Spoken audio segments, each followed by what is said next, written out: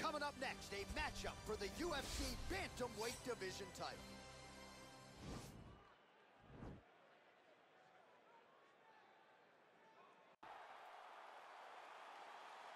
You ready?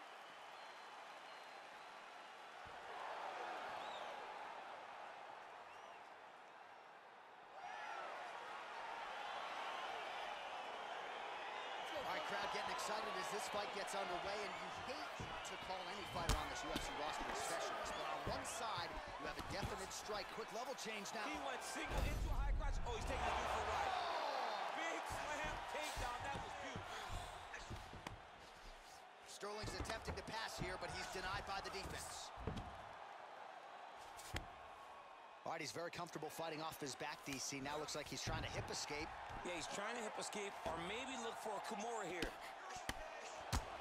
Well, as usual, suffocating work from the top here by Sterling.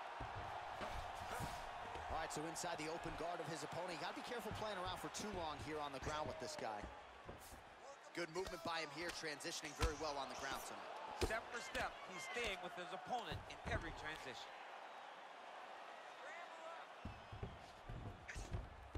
All right, looks like he's got a couple hooks in here, DC, and defensively, you better be careful.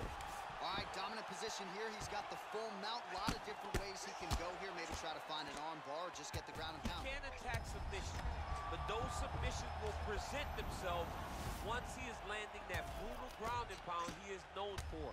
Because then his opponent will start to... And that's gonna do it. That'll do it. It's over. It's over.